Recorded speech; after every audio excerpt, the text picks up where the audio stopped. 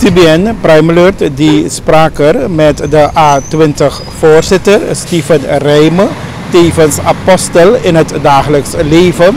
En met hem spraken wij over 2023, die we maar twee dagen geleden, drie dagen geleden hebben gegroet en 2024 groots hebben verwelkomd.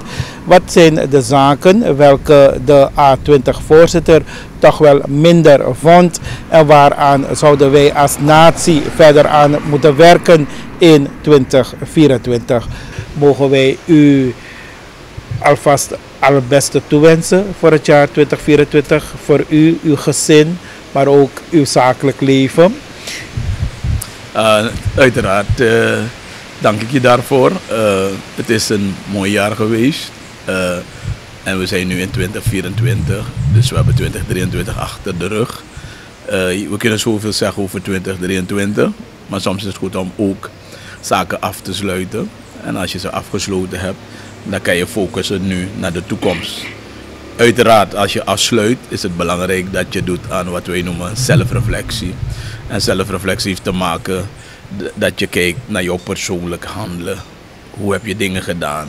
Wat zou je beter kunnen doen? Op alle fronten, geestelijk, gezin, politiek, en naar je medemens doen. Wat zou je anders kunnen doen? Hoe zou je dingen anders kunnen zeggen? Heb je uh, toch met jouw handelen kunnen bereiken wat je wil? Dus praat puur persoonlijk. Maar dan je moet ook evalueren. Evalueren is meer gericht op de doelen die je gesteld hebt. Heb je die doelen die je wou bereiken, bereikt? Het zijn persoonlijke doelen, het zijn maatschappelijke doelen, het zijn uh, politieke doelen. Heb je ze kunnen uh, halen. En ik denk, wanneer je die zelfreflectie die meer gemaakt heeft met jou als persoon, wat je anders zou kunnen doen. En een evaluatie heeft te maken naar de doelen die je stelt. Wanneer je die evaluatie hebt gedaan, dan kan je zelf een cijfer geven. En ik zou zeggen tegen mezelf, het kan beter. Het kan steeds beter.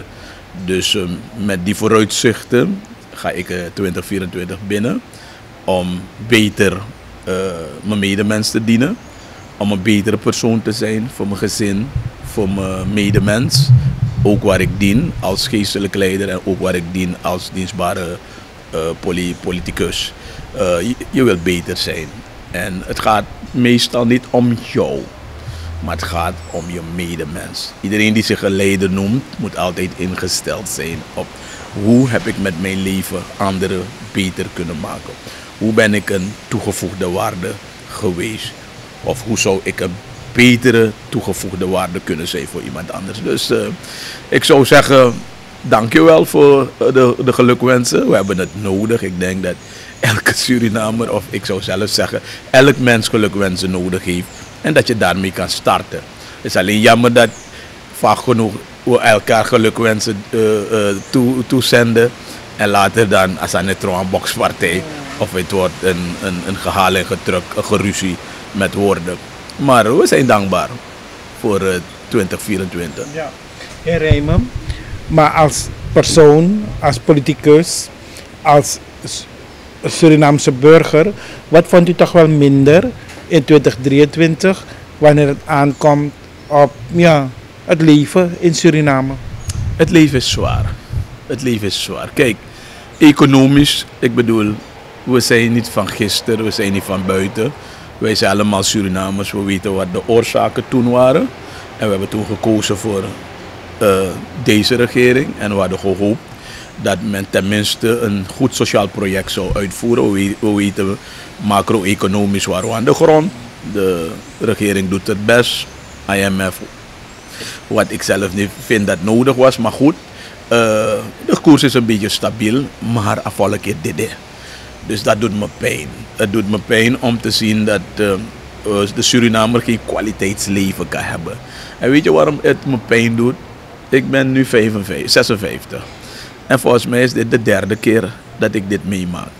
En mensen zijn ouder dan mij. Mensen die hard gewerkt hebben. Hun pensioen is waardeloos. Um, uh, al zou je ze zoveel geld willen geven. Maar het is waardeloos. Kijk, de mensen hebben geen kwaliteitsleven. Als je wil verbouwen, kan je niet. Uh, dus je bent 60, je bent gepensioneerd. Je had gehoopt dat je nu zou genieten van je gespaarde pensioen en je gespaarde gelden. Maar het werkt niet, het, het, het lukt gewoon niet. Dus dat is minder. Als je om, om je heen kijkt, de criminaliteit, iedereen praat erover. Die verruwing van de criminaliteit is ontzettend. Uh, ik hoorde net via radio dat uh, iemand achter Forsilanja een vrouw heeft geschoten en een kogel door zijn hoofd in de relationele sfeer. En ik bedoel, we zijn pas 3 januari. We zijn al geëindigd met een situatie in een pensioen van een baby, uh, een moeder en iemand die zelfmoord gepleegd heeft. Uh, het is verschrikkelijk. En ik dacht precies aan het einde ook, had je jongen die van de brug is gesprongen. Het is verschrikkelijk. Al deze dingen hebben te maken niet alleen met die maatschappelijke, die economische situatie waarin we zitten. Maar ik denk dat geestelijk is dit land op dit moment niet zo in orde. En als geestelijk leider kan ik dat zeggen, omdat we ervoor bidden. Maar we zien de geest van depressie. We, zien de geest van wanhoop. Uh, we zien de geest van zelfmoord. We zien een aantal dingen die zich manifesteren. Hoe kan ik dat zeggen? Omdat we dat zien in het gedrag van de mensen. De geest van agressie. Uh, ik bedoel, uh, men probeert een Biggie Pakagara estafest te, te organiseren. En het eindigt toch dat een paar mensen met elkaar vechten. Dus er is zoveel agressiviteit onder de, de, de bevolking. En ik kan me dat voorstellen. Maar ik denk aan het begin van het jaar moeten we echt tot de heren roepen. Carnagado. En ook eigenlijk moet je tot jezelf gaan praten. Is dit het leven die ik wil hebben? Uh, zal je constant uh, regeringen de schuld blijven geven? Of zal je bij jezelf gaan zitten en zeggen: wat moet ik doen dat ik het beter kan hebben? Mijn gezin het beter kan hebben? En ik weet, het zijn, zijn moeilijke vragen. Maar soms is het goed dat, we, dat je zelf ook gaat kijken. Wat kan je met je eigen handen doen om het beter te, te hebben? Zij je te lang aan Voor de regering of, of voor politici of voor anderen. Uh, soms moet je ook kijken wat jij zelf kan doen. En, uh, en als jij de eerste stap maakt, ik denk dat je dan de tweede, dan gaat de derde, dan gaat de vierde stappen. Maar ja, de mensen zijn moedeloos, de mensen zijn moe. Er is geen hoop, maar we moeten hoop blijven verkondigen. Dus we zijn aan het begin van het jaar, dat vind ik minder. Ik heb geluisterd naar de toespraak van de president. Bijna kan je zeggen, elk jaar wie, wie ook president is, bijna zijn kopie uh, is bijna dezelfde rode draad. Nee, we hebben andere dingen nodig. En ik denk, uh, laten we niet negatief zijn, maar laten we kijken. Er zijn goede perspectieven voor land en volk. Niet vanwege deze regering, maar gewoon vanwege dat Gado Bless Agrong, waar olie, waar gas, waar een aantal dingen. Als je de juiste leiders kiest en uh, probeer niet te gaan voor je eigen dingen, maar voor algemeen belang. Dan denk ik dat we alvast de eerste stap naar een beter Suriname hebben gemaakt. En dat, dat, dat heeft niks te maken met welke regering zit. Het heeft te maken met die, die, die mindset van de Surinamer. Want als die mindset positief is, dan gaan ze ook de juiste leiders kiezen. Ze gaan geen leiders kiezen omdat we moe zijn van één leider. Ze gaan leiders kiezen omdat zij geloven dat Suriname beter verdient. Maar wat is de vrees in 2024, gelet op het feit dat we zo dicht bij de verkiezingen zijn? Nou, ik denk niet dat er echt een vrees is. Ik, ik denk dat er veel misleiding zal zijn. Uh, laten we elkaar niet voor de gek houden. En het is niet alleen deze regering die dat doet. Elke regering die aan de macht is, een jaar voor de verkiezing, doen ze zoveel populistische zaken. Alles kan plotseling. Wat niet kon in drie jaar, kan plotseling. En, en dat is misleiding. En, en, en dat heeft te maken met proberen te consolideren. Dat je wat zetels uh, kan behouden of uh, wat zetels meer kan krijgen. Maar in dit geval denk ik heeft het meer te maken met consolideren. En dat is misleiding. Omdat je daardoor het volk onderdrukt hebt. Uh, de communicatie is baar slecht. Ik bedoel, we staan wakker 1, 1 januari en we worden geconfronteerd met verhoging van benzine on, onafgekondigd. Niet, dus, dus het is gewoon van de een of ander, is dat de trend die men wil hebben. Begrijp je? Dus je gaat en je, je hebt misschien een budget gemaakt, uh, 31 december. Oké, deze maand zit er zo, want de meeste mensen hebben dan al hun salaris gehad. Je hebt brood gezet misschien op, uh, noem maar wat, 40, 50. En benzine gaan omhoog, dus in Berika, Brede, ik ga 10 gola lok toe. Alles aan ik ga 10 gola lok toe. Anderen misschien zelf 20, 30. Dus uh, dat vind ik minder. En ik denk dat de bevolking dat intussen doorheeft. En, en laat me dat herhalen, is niet alleen te maken met deze regering die nu zit. Ik heb gemerkt dat de meeste zittende regeringen, uh, uh, wanneer er verkiezingen zijn, is men zo populistisch en zo populair bezig. En dat is jammer. En, en daarvoor denk ik uh, moeten wij als volk waken. Ik zeg niet dat je wat ze je willen geven niet moet nemen. Neem het. Maar realiseer je dat het een misleiding is. Maar wat betekent het voor politieke partijen als A20 een jaar zo dicht bij de, voor de verkiezingen? Oh, het betekent, we zijn enthousiast. Uh, omdat wij nog steeds de instelling hebben dat je als dienstbare leider gaat voor het algemeen belang. Uh, onze ideologie is daarop gebaseerd. Ik wil mij niet gaan beroepen op zaken als wij gaan het beter doen en zo. we zijn realistisch, we, we weten hoe het land er, eruit ziet. En wij hebben vanaf het begin gezegd, ga voor het technisch kabinet, ga voor mensen die voldoen aan een aantal criteria's. Uh, als je een profielschets hebt, waardoor je vanaf het begin al weet, dit zijn mensen die toch weten waarover ze praten. En dat zijn geen leeghoofden, om het maar netjes zo te zeggen, met respect. Maar het zijn toch mensen die uh, zaken hebben bereid. Uh, niet managers waren van twee, drie mensen, maar managers waren van tenminste een aantal mensen, waardoor ze ook weten hoe te managen en hoe ook te inspireren. Want als je nu uh, politieke taal gaat gebruiken, van ja, wij gaan het beter zijn, wij zijn. Nee, het werkt niet. Uh, laten we komen en dat gaan we binnenkort presenteren met feiten, met modellen waarvan we denken dat dat zal werken. Een van de modellen die wij al uh, de laatste tijden heel veel over praten is, laten we gaan kijken naar hoe kunnen we die ministeries verminderen. in plaats van 17 ministeries, hoe kunnen we naar 10 tot 12? Laten we dat misschien tot een, een, een, een discussie maken. Hoe zouden we ook kunnen gaan kijken naar een model waarbij ministers en parlementariërs, nadat ze gediend hebben, voor sommige landen is het drie jaar, uh, eh, 18 maanden, voor sommige 36 maanden, kunnen nog even, laten we zeggen, uh, ze krijgen een gouden handdruk, om het maar zo uit te drukken, voor drie jaar of voor twee jaar. je kan kijken naar de Europese modellen. En, uh, en daarna moeten ze gewoon teruggaan naar de orde van de dag, waardoor je alvast heel wat bezuinigingen hebt op dat gebied. mensen kunnen zeggen, maar Rijmen, maar dat is maar een, een, een, een, een, een druppeltje. Maar laten we ons niet vergissen, ik heb geluisterd naar de minister van Financiën. Hij heeft gezegd, een van de dingen die heel diep gaat in onze begroting zijn telefoonkosten. Dus als al deze mensen hun telefoons behouden en nog vrij mogen bellen. Dan begrijp je, dan kon je dat geld liever hebben gegeven aan uh, uh, sociale zaken, eh, AOV, de gehandicapten. Begrijp je? Dus we moeten gaan kijken hoe we realistischer Suriname gaan regeren. En hoe kan je dat realistische dingen die niet nodig zijn, gewoon weghalen nu al plannen maken om ervoor te zorgen dat die dingen niet terugkeren. En dat je gewoon een beleid kan vormen dat gaat om winst te hebben. Winst voor die regering en winst voor die bevolking. Maar zoals het nu is, met al de subsidies en al de, de mooie dingen die men doet voor mensen die in het bestuurlijke zitten, ik denk dat dat te veel van het goede is.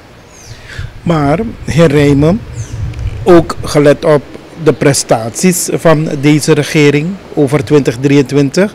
Wat vindt u zelf daarvan? Kijk, je kan praten over deze regering. Ik bedoel, iedereen ziet al wat voor type regering het is. Het is een regering die uh, ook al weerspreekt de president dat. Maar ik durf hem wel te zeggen dat het duidelijk zichtbaar is dat hij nog steeds met een etnisch uh, uh, sentiment bezig is. alle strategische posten zien we alleen dat Hindustanen daar komen. U, u bent ook Hindustan, maar wij, u en ik zien onszelf als Surinamer. Maar voor het vraaggesprek is het duidelijk om dat aan te geven. We zien dat ook gebeuren bij de, de, coalitiepartner. dat waar zij macht hebben en invloed hebben, dat toch merken dat ze met het etnische sentiment werken. En waardoor wij straks die over gaan nemen straks zitten met deze situatie. En we moeten gaan kijken uh, bij wet hoe we dit soort toestanden voor eens en voor altijd kunnen uitroeien. Uh, dat mensen zetten uh, niet alleen etnisch, maar ook politiek hun eigen mensen op strategische posten, waardoor ze in feite zeker ziende op wat komende is, gas en oil, de miljoenen die gaan komen, dat die mensen toch een beetje controle hebben op bepaalde dingen. En strategisch kan ik dat begrijpen. Dat VAP dat doet, dat en, uh, ABOP dat doet. Maar het is niet in langsbelang, het is in partijsbelang. En alles wat je doet in partijbelang heeft te maken, naar mij, neigt naar partijpolitiek, neigt naar nepotisme, neigt naar corruptie, neigt naar, noem het wat je wil. Maar het heeft niet te maken met een opstelling van nationalisme, een opstelling van wij Surinamers, het heeft te maken met een groepje die steeds rijker zal worden, terwijl die bevolking nog steeds uh, armer zal worden. Dus uh, ik denk dat het zijn dingen waarnaar we moeten gaan kijken en ons daarmee bezig moeten houden. En het moeten vraagstukken worden. Hoe gaan we dit soort dingen doen? En daarom zeg ik, het is niet alleen deze regering die dat doet. Het is een, hoe, hoe moet ik dat noemen? Je zou dat kunnen noemen een tendens. Eh, NDP doet het, uh, Front heeft het gedaan, noem maar op welke regering. En we weten dat uh, we dan zitten, de nieuwe regering, met woekercontracten. Mensen zijn voor hun leven benoemd. Als je ze echt wil weghalen, moet je ze zoveel betalen en zoveel compromissen sluiten. Ik denk dat we moeten gaan kijken, het parlement die straks gaat zitten, hoe we dit soort dingen kunnen elimineren voor eens en voor altijd. En dat je, wanneer je bepaalde contracten wilt tekenen, dat de desnoods naar de, naar de, naar de Nationale Assemblée moet gaan. Zover moet je het zeggen. Want als je iemand, iemand is, laten we zeggen, 50 jaar of 40 jaar. En je, omdat de man en, en uh, uh, is en jouw familie of jouw partijgenoot, dan geef je de man een bedrag die de man niet waard is. En je geeft hem wat wij noemen een contract dat niet tijdelijk is, maar tot zijn 60ste jaar uh, is dus uh, dat soort dingen moeten we gaan elimineren. En uh, is corruptie. En is nepotisme. En het is stelen van het land. Dat is één. De andere zaken die, waar naar we ook moeten kijken met betrekking van het presteren van de regering is nog steeds de zaak van die grondconversie. Uh, daar wordt duidelijk gestolen. Deskundigen hebben hun meningen al gegeven, maar iedereen zwijgt in alle talen. En intussen waarschijnlijk zijn alle paar uh, percelen die de staat toebehoren eigendom geworden. En, en ik bedoel, als je dit soort dingen uh, bekijkt, dan vraag je af, hoe, wat verwacht deze regering wel? Dat het volk slaapt en dat het volk blij is met dit soort handelingen? Nee. We zijn niet blij ermee. We, we willen duidelijk uh, zien dat elke regering die komt, VAP, NDP, NPS, A20, noem maar op. Welke regering ook zal komen, duidelijk moet komen om het volk te dienen. En het zullen wel een paar goede dingen zijn, laat me dat zeggen. Ik ben niet iemand die gaat zeggen, alles wat uh, deze regering gedaan heeft is fout. Er zijn misschien een paar goede dingen, niet veel, een paar. De koers is in, ieder geval stabiel. Uh, de regering durft de subsidies uh, weg te nemen. Alhoewel ik vind dat je uh, tweesporenbeleid moet hebben. Dat is toch een beetje durf. En, maar terwijl ze dat doen, zie je toch ze tegelijkertijd weer andere dingen doen. Dus dat bijna worden die goede dingen overschaduwd door de minder goede dingen. En de prestaties van het parlement, heer Uh, het is, het is iets dat, waarnaar we echt moeten gaan kijken.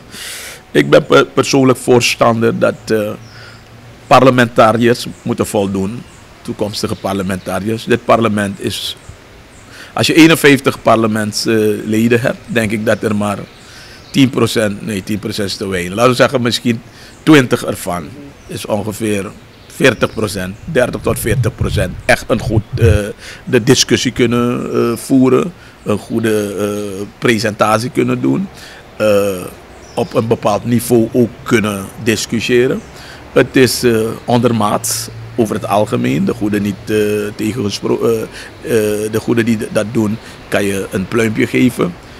maar ik denk dat dit ook een maatschappelijke discussie moet worden. Moeten we toch niet. Kijk, je wil het open houden voor iemand, maar ik denk dat je toch tenminste een bepaald niveau moet hebben. En ook hebt moeten bewezen dat je op een bepaald niveau ook hebt ge, uh, gefunctioneerd. Dan praat ik niet direct dat je HBO moet hebben. Maar je zou een MILO-diploma kunnen hebben. En je bent bijvoorbeeld in een buurtorganisatie waar je jezelf vrijwel goed hebt ontwikkeld. Je hebt misschien geen universitaire opleiding. Je kan misschien niet uh, academische woorden spreken, maar je kan wel een goede discussie, hebben. En je bent wel bereid om te leren om op een bepaald denkniveau te gaan praten en te, te, te gaan discussiëren. En ik dacht dat iemand had voorgesteld dat voordat de parlementariërs, als ze gekozen zijn, uh, werkelijk een intrede gaan doen in het parlement, dat je misschien een tweemaandse opleiding zou kunnen doen. Om ze toch wat uh, richting te geven en een wegwijzer te geven, hoe of wat. En dat je bijvoorbeeld voor die parlementariërs, want ze zijn voor vijf jaar gekozen, misschien toch nog een, een, een loopbaanbegeleiding kan hebben. Waarbij je ze helpt en ervoor zorgt dat uh, tenminste elk kwartaal ze zitten in de klas. Uh, en ze kunnen daardoor, uh, voor sommigen zal het zijn een, hoe noem je dat, even een, dat ze daar zitten gewoon om even een refreshment te hebben. Maar voor anderen zal het zijn nieuw. Kijk, politiek heeft toch een, een, aantal dingen. En ja, heel wat mensen doen hun best. En zo zeggen on-the-job training. Maar van de 51 heb ik niet gemerkt dat veel dat niveau hebben gehaald. En we merken het ook. Zelf journalisten durven niet om sommige mensen te interviewen omdat je bang bent dat je in feite de persoon uh, in een moeilijke positie zet. En dan ga jij beschuldigd worden dat. Is op dat man tak Nederlands. Is op dat man man Jumbo interview. Maar toch, maar ik denk dat ook voor de journalist het nu wel belangrijk moet zijn in de toekomst. Om uh, toch ook dit soort mensen desnoods in onze voertaal uh, te interviewen. Zodat de vervolging kan zien, daar zitten we, dit is het probleem. En als dat probleem geïdentificeerd is, is het makkelijk om, om een, een, een traject te, te beschrijven waardoor de politici kunnen gaan die willen groeien en die gezegd hebben, ik wil doorgaan.